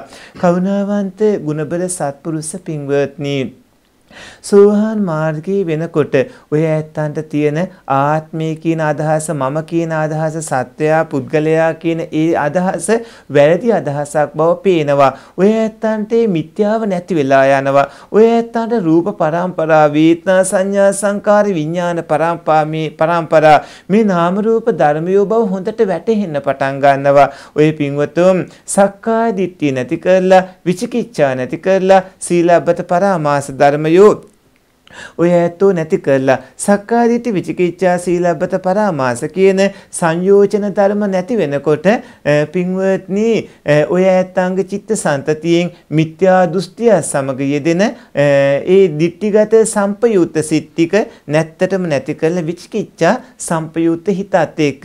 එතකොට ඔබේ චිත්ත සන්තතියෙන් දිට්ඨිගත සම්පයුත්ත සිත්තික නැති කළාට දිට්ඨිගත විප්පයුත්ත සිත් තියෙන ලෝභයත් එක්ක. ඒ කියන්නේ ලෝභයත් එක්ක ඇලි බැලීමත් එක්ක තියෙන මේක මේ පටලව ගන්න නැතුව මම මේ කියන විදිහට ඔය ඇතු දකින්න. එතකොට මේක හොඳටම ඔය සත්පුරුෂ පුණ්‍යවන්තයිනට තීරුම් ගන්න පුළුවන්කම ලැබෙනවා. ditthිගත විප්පයුත්ත සිත්තික මේ කෙනාට ලැබෙනවා. ඒ වගේම දෝමනස සිත්තිකත් රූපරාග අරූපරාග මාන උද්දච්ච අවිචාවොත් සෝහාන් වෙච්ච උත්තමයන් වහන්සේ නමකට ලැබෙනවා. එතකොට සෝහාන් වෙච්ච උත්තමයන් වහන්සේට නැත්තම් සෝහාන් වෙච්ච අයට පින්වත්නි මමත්වයේ දැඩි බව නැති වෙනවා කියලා කිව්වොත් මමත්වයේ දැඩි බව කියනවට වඩා හොඳම දේ තමයි අර ditthිගත මිත්‍යා දෘෂ්ටියත් එක්ක යෙදෙන ඒ ලෝභය නැති වෙලා යනවා මිත්‍යා දෘෂ්ටිය යෙදෙන්නේ නැති ලෝභය තියෙනවා කියන එක තේරුම් ගන්න. රූප රාග අරූප රාග මානුද්දච්ච අවිච්ඡා කියන ඒ රහත් වෙනකොට තමයි ඒ අනිකුත් රූප රාගයේ රූප රාග ආදී නැති වෙලා යන්නේ. සත්පුරුෂ පින්වත්නි ඊළඟට අහලා තියෙන ප්‍රශ්නේ අවසරයි පින්වත් ස්වාමින් වහන්සේ වැඳ නමස්කාර කරමි. ස්වාමින් වහන්සේ සද්දේ වැඩි තැනක කරන්න භාවනාවක් හා කරන්නේ කෙසේදැයි පැහැදිලි කර දෙන්සේක්වා තෙරුවන් සරණයි. ඔය පින්වතුන් සද්දේ වැඩි වේවා සද්දේ අඩු වේවා ඕනෑම තැනකදී යෝනිසෝ මනසකාරයෙන් කටයුතු කරන්න. ඔය ඇත්තෝ ඒ ඒ ධර්මයන්ගේ උප්පත්තිය පැවැත්ම විනාශය ආදී නුවණින් විමසා බලා හේතුඵල ධර්මයන්ගේ ක්‍රියාකාරීත්වයෙන් යුක්ත ධර්මතාවයන්ගේ පැවැත්ම සිද්ධ වන විදිහ නුවණින් විමසා බලා කටයුතු කරන්නට වග බලා ගන්න. පින්වත්නි ඔබට සද්දය වැඩි කොපමණ තැනක හිටියත් ඔය ඇත්තන්ගේ රූප පරම්පරාව ගැන වේදනා සංඥා සංකාර විඥානයන් ගැන ඒ අධික ශබ්දේ ගැන ඒ අනුකුත් කාරණා ගැන හේතු විමසා බලාගෙන යනකොට ඒ හැම දෙයක්ම හට ගන්න විදිහේ පැවැත්ම නැවැත්ම ආදී ඔක්කොම වටහා ගන්න පුළුවන් මේ අපි කිව්වේ ඔබට විදසුන් වඩන්න කියන එක. ඔය ඇත්තෝ විදර්ශනා භාවනා වඩන්න පටන් ගන්න ආත්මීය සත්‍ය පුද්ගලයා මම කියලා හිතන එක සම්පූර්ණයෙන්ම මිත්‍යාවක්. ඔය ඇත්තෝ ඒ දෘෂ්ටිය නැති කරගෙන සත්‍ය දකමින් කටයුතු කරන්න. සත්පුරුෂ පින්වත්නි ඊළඟට අහලා තියෙන ප්‍රශ්නේ අවසරයි පින්වත් ස්වාමින් වහන්සේ ශාස්ත්‍රවරයෙකු වෙන්නේ කොහොමද? ශාස්ත්‍රවරයෙකු වීමට තිබිය යුතු ගුණධර්ම මොනවද? ප්‍රශ්නේ ටිකක් දිගින්ද ප්‍රශ්න ගොඩක් තියෙන හින්දා ප්‍රශ්නෙන් ප්‍රශ්නෙට උත්තර දීගෙනම යන්නම්. පළවෙනි එක ශාස්ත්‍රවරයෙකු වෙන්නේ කොහොමද? පින්වත්නි අන්‍යාගමික ශාස්ත්‍රවරු වෙන්න නම් බොරු කියලාත් පුළුවන් විවිධ දේවල් කරලා පුළුවන් ශාස්ත්‍රවරයෙක් වගේ පෙනී ඉන්න. නමුත් භාග්‍යවතුන් වහන්සේගෙන් තුන් ලෝකයේම ශාස්ත්‍රුන් වහන්සේ වෙන්න නම් සාරාසංඛ්‍ය කල්පලක්ෂයක් වූ අෂ්ටාසංඛ්‍ය කල්පලක්ෂයක් වූ සොළසාසංඛ්‍ය කල්පලක්ෂයක් වූ පාරමී උපපාරමී පරමත්ත පාරමිතා ආදී පුරමින් නියති වර්ණ සම්පූර්ණ කරගෙන එන්න ඕන අනියති වර්ණ සම්පූර්ණ කරලා ඉඳලා අනියති වර්ණ සම්පූර්ණ කළ නියති වර්ණ ලබාගෙන ඉන්න ඕන ලබාගත් නියති වන එක අර විදිහට අදිස්ථානශීලීව කටයුතු කරගන්නට ඕන. ශාස්ත්‍රවරයෙකු වීමට තිබිය යුතු ගුණාංග මොනවද කියලා ඇහුවොත් භාග්‍යවතුන් වහන්සේ බවට පත්වෙන්නට නම් පෙර සාරාසංග කල්පලක්ෂයක් මුල්ලේ පිරූ පාරමී ධර්මයෝ හින්දා ලෝතර සම්මා සම්බුද්ධත්වයට පත් වෙන්න ඕනේ. ඒ සම්මා සම්බුද්ධ වූ බුදුරජාණන් වහන්සේගේ ගුණේ වර්ණනා කරන්නට පුළුවන් තවත් බුදුරජාණන් වහන්සේ නමකට පමණයි. ගරහා කළ යුතු ශාස්ත්‍රූවරයා මනුලොව සිටි ධනිවාරීම ඉන්නවා. සංජය බෙල්ලාටිපුත්ත පගුද කච්චායන වගේ කට්ටිය ගරහා කළ යුතුයි. වර්තමානයේදී සරබල්ධාරී දෙවියන් වහන්සේ ලෝ මැව්වා කියන කට්ටිය ගරහා කළ යුතුයි. ඒ වගේම තමන්ගේ ආගම දහම් ව්‍යාප්ත කරන්න අන්‍ය අන්‍ය ජාතිකයින්ව විනාශ කිරීම වගේ දේවල් කරන්න කිව්ව කට්ටියට ගල්හා කළ යුතුයි. මේ ශාසනයෙන් පිටත මිත්‍යා දෘෂ්ටික කරුණු කියලා දෙමින් පවට බර කරන කට්ටිය ගරහාවට ලක් කළ යුතුයි. නමුත් පිනට බර කරමින් දෙලෝ යහපත සලසන කට්ටියට ප්‍රශංසා කළ යුතුයි. එතකොට ගරහා නොලැබිය යුතු ශාස්ත්‍රූවරයෙකු මනුලොව සිටිද්ද? ඔහු පින්වත්නි ඒ තමයි භාග්‍යවතුන් වහන්සේ. ගරහා නොකළ යුතු ශාස්ත්‍රූන් වහන්සේ භාග්‍යවතුන් වහන්සේ මෙතෙන්දි ගරහා කිව්වම ඔබ අහපු ප්‍රශ්නටයි උත්තර දෙන්නේ. අපි නම් කියන කාටවත් බනින්න එපා බැන්නොත් පෙරලා ඔබට බැනුම් වපුරපු විදිහට අස්වැන්නට ලැබෙනවා කියලා. ප්‍රශ්නයට උත්තර දිය යුතු නිසායි අහපු අහපු එකට උත්තර දෙමින් යන්නේ. ඒ වගේම පැසසුමට ලක් විය යුතු, පැසසුමට ලක් කරවිය යුතු ශාස්ත්‍රවරයෙකු මනුලොව සිටීද? ඕ පින්වත්නි තමයි අපේ තිලෝගුරු බුදුරජාණන් වහන්සේ බුදුරජාණන් වහන්සේව ප්‍රශංසාවට ලක් කරන්න. පැසුමට ලක් කරන්න පැසුම නොවී යුතු ශාස්ත්‍රූවරයා මන්ලොව සිටීද ඕ පින්වත්නි ප්‍රශංසා නොකළ යුතු ශාස්ත්‍රූවරු මන්ලොව ඉන්නවා අන්‍යාගමික විවිධ බලවේගවල ශාස්ත්‍රූවරු. එතකොට අපහට ශාස්ත්‍රූවරයෙකු නිර්භය නිර්භීත වමනා වෙන්නේ ඇයි? ඒ තමයි සසර දුක් නසා සසරින් එතරම් නිවන් දකින්නට ශාස්ත්‍රූවරයන් වහන්සේලා එක්කනමයි අපිට ලැබෙන්නේ. ඒ තමයි බුදුරජාණන් වහන්සේ භාග්‍යවතුන් වහන්සේගෙන් තුන් ලෝකේ උතුම් ශාස්ත්‍රෝන් වහන්සේ ලැබෙන්නත් පින්වතින් දකින්නත් පින් කරගෙන ඉන්නට ඕනේ. එතකොට ඔය ඇත්තෝ භාග්‍යවතුන් වහන්සේම සරණ යන්න ඕනේ. බුදුරජාණන් වහන්සේම එකම පිහිට පිළිසරණ කරගන්නට ඕනේ. තුනුරුවම්ම සරණ යන්නට ඕනේ. ඔබ විසින් ශාස්ත්‍රූවරයෙකු සොයා පසුපස යා යුත්තේ යයි බුදුරජාණන් වහන්සේ විතරේ ශාස්ත්‍රූන් වහන්සේ ඔය ඇත්තෝ බුදුරජාණන් වහන්සේ ශාස්ත්‍රූන් වහන්සේ විදිය සලකා කටයුතු කර ගත යුතුයි ශ්‍රාවකයෝ ශාස්ත්‍රූන් වහන්සේලා නෙමෙයි ශ්‍රාවක කියන වචන තේරුම බුදුරජාණන් වහන්සේ දේශනා කරපු ධර්මය පින්වරණි අහලා දැනගෙන අනිත් අයට කියන කට්ටියට තමයි ශ්‍රාවක කියලා කියන්නේ. ඒතකොට ශ්‍රාවකයින් පිටිපස්ස ශාස්ත්‍රූන් හොයාගෙන යනවා වගේ යන්න එපා. ඒක වැරදි ශාස්ත්‍රෝන් වහන්සේ පසුපස්සෙන් භාග්‍යවතුන් වහන්සේ පසුපස්සෙන් යමින් සසරින් ඉගොඩ වෙන්න කටයුතු කරගන්න. ශාස්ත්‍රූ ශාවක ભેද දෙක හොඳට තේරුම් ගන්න. පින්වත්නි ඊළඟට අහලා තියෙන ප්‍රශ්නේ අවසරයි පින්වත් ස්වාමින් වහන්සේ නිවන උපාදානය කර ගනිමින් නිවන් ලැබිය නොහැකිද? දේවතානුස්සතිය වගේ නිවනේ ඇති සාන්ත බව ප්‍රණීත බව මෙනෙහි කිරීම නිවනට උපකාර වන්නේද? අනුකම්පාවෙන් පැහැදිලි කර දෙනසේක්වා පින්වත් ස්වාමින් වහන්සේ උතුම් චතුරාර්ය සත්‍ය අවබෝධ කර ගනිත්වා කියලා නිවන උපාදානය කරගන්න බැරි එකක්. මොකද උපාදානය වෙන්නේ තණ්හාවෙන් ගත්ත දේ නිවන තණ්හාවෙන් ගන්න පුළුවන් දෙයක් නෙමෙයි. තණ්හාවට මුල් වෙන්නේ පින්වත්නි වේදනාව වේදනාව වේදනාවට කලින් වේදනාවට පත්‍ය වෙන්නේ පින්වත්නි පස්සේ පස්සේට පත්‍ය වෙන්නේ ඒ සලායත්නයක් මේ විදිහට ලොකු කියාපටිපාටියක් නෙවෙන්නේ. එතකොට නිවන උපාදානය කරගන්න පුළුවන්ද කියලා ඇහුවොත් නිවන සිවුම හෝ දැඩිව ග්‍රහණය කරගෙන උපාදානය කරගන්නට හැකියාවක් නැහැ. ඒක කෙලෙස් වලට අදාළ කවුණක් නොවන හින්දා අසංකත ධාතුවක් නිසා දේවතානුස්සතිය වගේ කියලා ඇහුවොත් එහෙම බෑ. නිවනේ ඇති සාන්ත බව ප්‍රනීත බව මෙනෙහි කිරීම නිවනට උපකාර වන්නේද කියලා ඇහුවොත් ඕ පින්වත්නි නිවනේ ඇති සාන්ත බව ප්‍රනීත බව නිවනේ ඇති ඒ උතුම් සුන්දර ස්වභාවය මෙනෙහි කිරීම ඔය ඇත්තන්ට නිවනට උපකාරයක් ලබන්න වගේම ඔය ඇත්තන්ට නිවන් දකින ගමනට අතිශයින්ම මඟ පෙන්වීමකුත් වෙනවා. ඔය ඇත්තෝ නිවන් දකින ගමනට අවශ්‍ය කටයුතු සිදු කරගන්න පින්වත්නි ඒ සඳහා ඔය ඇත්තෝ නිවනට උපකාර වන විදිහට ඔබේ බෝධිපාසක ධර්ම වැඩෙන්නට සලස්වමින් කටයුතු කරන්නට වග බලාගත යුතුයි.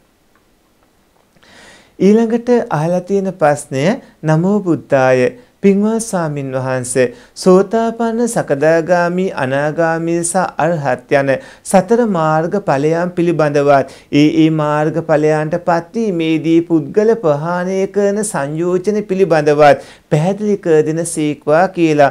සෝහන් සකදාගාමි අනාගාමි අරහත් කියන සතර මාර්ග ඵලයන් ගැන කියනකොට පින්වත්නි සෝහන් මාර්ගයට පත්වෙද්දී ඒක බීජී කෝලංකොල සත්තක්කත්තු පරම කියලා ආර්ය පුද්ගලයෝ තුන්දෙනෙක් හම්බ වෙනවා. නැති කළ දාන සක්කාදිට්ඨි විචිකිච්ඡා සීලබ්බත පරාමාස කියලා කියන සංයෝජන ධර්මයෝ සකදාගාමි වෙනකොට 150ක් විතර කාමරාග පටිගියෝ තුනී කළ දානවා.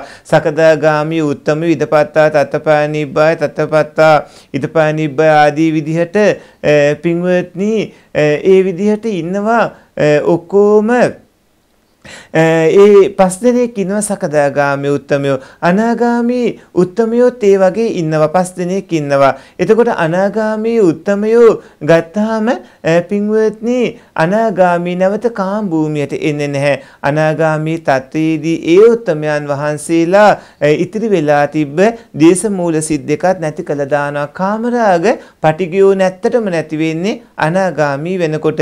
සක්කාදිට්ඨි විචිකිච්ඡා සීලබ්බත පරාමාසයෝ නැති වෙලා යනවා. පින්වත්නි සෝවාන් මාර්ගයටපත් වෙද්දී ඒ වගේම රූපරා මේ කාමරාග පටිගියොත් නැති වෙලා යනවා. සකදාගාමි මාර්ගයට අනාගාමි මාර්ගයටපත් වෙනකොට රූපරාග අරූපරාග මානුද්දච්ච විචාවොත් නැති වෙලා යනවා. රහතන් වහන්සේ නමක් වෙනකොට විශේෂ සංයෝජනයක් නැති වෙන්නේ නැහැ. සකදාගාමි වෙනකොට. ඊළඟට අහලා තියෙන ප්‍රශ්නය තමයි ස්වාමින් වහන්සේ අභිධර්මයේ මුලින් ඉඳන් ඉගෙනීමට අවශ්‍ය පුද්ගලයෙකුට එය ආරම්භ කළ යුතු ආකාරය හා මුලින්ම පරිශීලනය කළ යුතු පොත් පිළිබඳව පැහැදිලි කිරීමක් කළ හැකිද? ඒ වගේම අභිධර්මයේ ඉගෙනීම ආරම්භ කළ යුත්තේ ත්‍රිපිටකයේ කුමන කොටසකින්ද? හා ඒ කොහොමද කියලාත් පැහැදිලි කරගන්න කැමැතියි ස්වාමින් වහන්සේ කියලා. පින්වත්නි අභිධර්මයේ පිළිබඳව අපි අතින් ලියවුණු පොත්පත් තියෙනවා. අන්තර්ජාලයේ තෝන තරම් අපි සටහන් සංග්‍රහ ගන්න පුළුවන්. අපි දේශනා පන්තිත් කීපයක්ම තියෙනවා. ඒවට සහභාගී වෙලා ඉගෙන ගන්නත් ඔය ඇත්තන්ට පුළුවන්කම ලැබෙනවා. අභිධර්ම ඉගෙන ගන්න පුළුවන්කම ලැබෙනවා. ඒ වගේම අතිපූජනීය රේරුකාණේ චන්දිමල ගෞරවනීය නායක මහින්පාණන් වහන්සේගේ අභිධර්ම මාර්ගය වගේ පොත්පත් පරිශීලනය කර ඉගෙන ගන්න පුළුවන්. අභිධර්මයේ ඉගෙන ගැනීමේදී ත්‍රිපිටකයෙන් ආරම්භ කරනවාට වඩා හොඳම තැන තමයි පින්වත්නි ඔය ඇත්තෝ අභිධම්මත් සංග්‍රහය අනුව ඉගෙන ගන්න ගන්න එක. ඊට පස්සේ ධම්මසංගණී ප්‍රකරණයට එහෙම යොමු වෙලා කටයුතු කරන්න පුළුවන්කම ලැබෙනවා. අභිධර්මාත සංග්‍රහය ඉගෙන ගන්න මහන්සි ගන්න. ඊළඟට අහලා තියෙන ප්‍රශ්නේ තමයි අවසරයි කල්යාණ මිත්‍යානන් වහන්සේ හිමියනි ස්වාමින් වහන්සේ නමක් දේශනාවක සඳහන් කර වූ කරුණක් වනුයේ හොඳ ඇස් ලැබීම පිණිස කළ යුතු ආමිස පූජාවක් වන්නේ පහන් ආලෝක පූජා බවත් ඇස් දුර්වල ඇති අය ඇස් රෝග ඇති අය කණ්ණාඩි දමන අය අනිවාර්යයෙන්ම කළ යුතු පූජාවක. පහන් ආලෝක පූජාව යනුවෙන් හිමියනී මෙහිදී පැන නැගෙන හැකි ප්‍රශ්නේ වනුයේ ඇස් රෝග සඳහා එනම් එම අකුසලයේ යටපත් කිරීම පිණිස සැබවින්ම කළ යුතු වන්නේ ආමිස පූජාව ලෙසින් පහන් ආලෝක පූජාව සිදු කිරීමද නැතිනම් සැබවින්ම ඇස් රෝගීන් සඳහා පිහිටවීමද කළ යුතු වන්නේ යන්නේ යනුව යන්නය අනුකම්පාවෙන් මෙම කරුණ පහදා දෙන සීක්වා කියලා. පින්වත්නි හොඳට පේන ඇස් ලබන්නට කළ යුතු පින්කම් අතර මිස් ඒ පින්වත් ස්වාමින් වහන්සේ සඳහන් කරපු ඒ ආලෝක පූජාව අංක එකට එනවා. ඒකට හේතුව තමයි පින්වත්නි දීපදෝහෝති චක්කුදෝ පහන් පූජාවෙන් ඇස් ලැබෙනවා. නුවණැස ලැබෙනවා. පින්වත්නි දෙනෙත් පේන්නට තවත් අයගේ අඳුර නැති කරන්නට ඕනේ. අඳුර නැති කරන්නේ විශේෂයෙන්ම සීලාදී Tamanට වඩා උසස් ගුණයෙන් ඉන්න උත්තමයන් වහන්සේලා ළඟ නම් ඒ බුදුමැදුරක පහන් දැල්ලුවත් ඒ ඇත්තන්ට උසස්ම ඉහළ මානසංශ ප්‍රතිඵල ලැබෙනවා.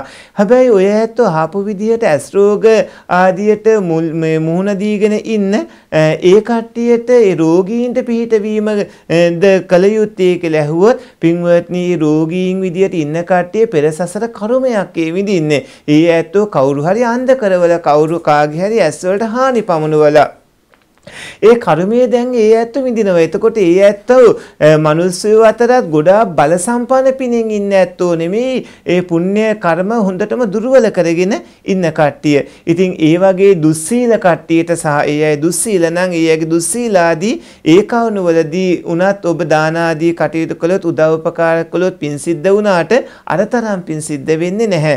ඒකට හේතුව ප්‍රතිග්‍රාහකයාගේ අකුසලයේ තරම සහ ඔහුගේ චිත්තසංතතිය අකුසල අකුසල ධර්මයන්ගේ ස්වභාවය ඊළඟට අහලා තියෙන ප්‍රශ්නේ තමයි අවසරයි ස්වාමින් වහන්සේ. ධර්ම විකෘති ඉදිරිපත් කරන හිමි නමගේ එසේ විකෘතියක් නැති කොටසක් උදාහරණයක් ලෙස සසරේ බියකරු බව කියන දෙසුමක් ධර්ම දානයේ පිණිස බෙදා හැදීම වරදක් වේද? කිසිසේත්ම ඒ කරන්න එපා.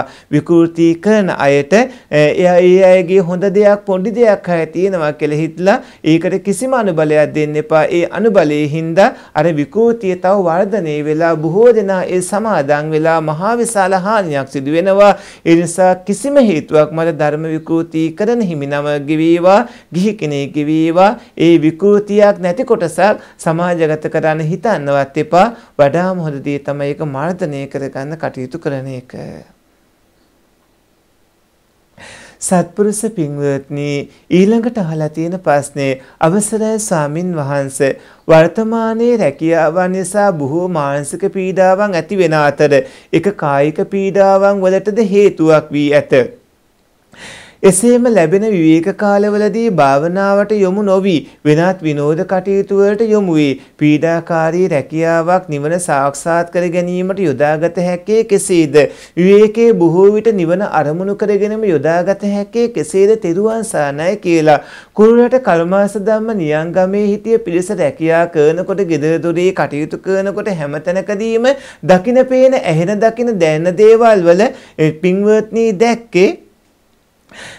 දැක්කේ සතර සතිපට්ඨානයේ හිටියේ යම්කිසි සතර සතිපට්ඨානයක යම්කිසි සතර සතිපට්ඨානයක ඉඳිමින් එහි දියුණුව ලබන්නට කටයුතු කරගන්නවා. ඒ වගේ ඔය ඇත්ත මොනතරම් කාර්යබහුල වුණත් ඔය ඇත්තෝ දකින්න පින්වත්නි රූප වේදනා සංඥා සංකාර විඥාන කියලා කියන මෙන්න මේ හේතුඵල ධර්මයන්ගේ ක්‍රියාකාරීත්වයක් වූ ධර්මතාවල උද්‍යව්‍ය ස්වභාවයන් නාම රූප පරිච්ඡේද ස්වභාවයන් ඒ පටිසම්පාද ස්වභාවයන් ආදී මේ කවුණු දකින්න සාමාන්‍ය රැකියා කරමින් ඉන්න ජීවිතයේ වුණත් ඔය ඇත්තෝ සත්‍ය දකින්න තත්ත්වයට හිතපත් කරගෙන කටයුතු කරන්න වග බලා ගන්න. පින්වත්නි ඊළඟට අහලා තියෙන ප්‍රශ්නය තෙරුවන් සරණයි පින්වත් ස්වාමින් වහන්සේ සාංගික දානයක් පූජා කර අවසානයේ ඉතුරු වූ ආහාර ගිහියන් විසින් ආහාරයට ගැනීම වරදක්ද? ඔබ වහන්සේ පතන්නා අවබෝධයකින් සුවසේ නිවන් දකීවා කියලා. පින්වත්නි සංඝරත්නයේට දාණය අවසන් වන වෙලාවක් තියෙනවා. සාංගික කරපු ආහාර පාන වස්තු වල සාංගිකත්වයේ නැති වෙලා යන කාලයක් තියෙනවා. ඒ දවසේදී සංඝරත්නයේ ඉර මුදුන් වීම සමගම දානේ දානේ වළඳන එක නතර කරනවා. එතකොට පින්වත්නි සංඝරත්නය ඒක නතර කළාට පස්සේ ඉතුරු වුණු ආහාර ඉතුරු වුණු දාණය අයිති වෙන්නේ අර කවුරු හරි ඉන්න කුසගින්න කෙනෙක්ට. ඒක කුසගින්න ඉන්න කෙනෙක්ගේ කුසගින්න නිවීමත් සංඝරත්නයට දානේ පූජා කිරීමත් දෙකෙන්ම දෙආකාරයකට ආනිසංස ගොඩක් ලැබෙනවා. ඉහළම ආනිසංස සංඝරත්නයට දානේ පූජා කිරීම නිසා ලැබෙනවා. ඉතින් ඔය ඇත්තෝ සාංගික දානයක් අවසානයේදී ඉතුරු වූ ආහාර ගිහියන් අනුභවයට ගැනීම වරදක්ද කියලා ඇහුවොත් සාංගික කාලයේ අවසන් වුණාට පස්සේ ඒක තවදුරට සංඝරත්නයට අයිති ආහාරයක් නෙමෙයි. ඒක ඔය ඇත්තන්ට පරිහරණය කරලා ඒ රැස් කරගත්ත පිනොත් ඔබට පුළුවන් අනිත් අයට අනුමෝදන් කරන්නට.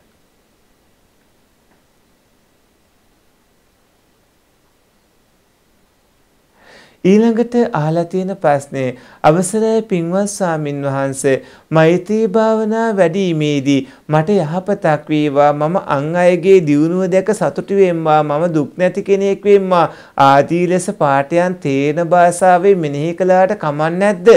කියලයි අහලා තියෙන්නේ. ඒක නම් කරන්න එපා පින්වත්නි. ඔබට යහපතක් වේවා. අන් අයගේ දියුණුව දැකලා සතුටු වෙම්වා.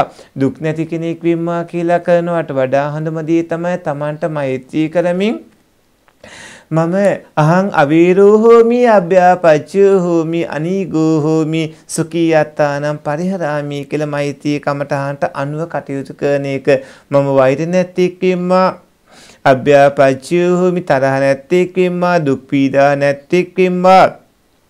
ආදී විදිහට පින්වත්නි තමන්ට මෛත්‍රී කළ තමන්ගේ චිත්තසංතතිය මෛත්‍රිය වර්ධනය කරගෙන වැඩුණු මෛත්‍රියෙන් අනිත් ඇත්තන්ට මෛත්‍රී කරන්නට කටයුතු කරගන්න. පින්වත්නි තමන්ට මෛත්‍රී කළ දියුණුව ලැබුවට පස්සේ තමයි අනිත් ඇත්තන්ට මෛත්‍රී කරන්නට ඕන. මට යහපතක් වේවා මම අන් අයගේ දියුණුව දැක සතුටු වෙම්වා මට නැති දුක් නැති කෙනෙක් වෙම්වා ආදී විදිහට හිතනවාට වඩා අර කටයුත්ත ඔය ඇත්තන්ගේ දිලෝ යහපත පිණිස පවතිනවා. පින්වත්නි ඊළඟට අහලා තියෙන ප්‍රශ්නය.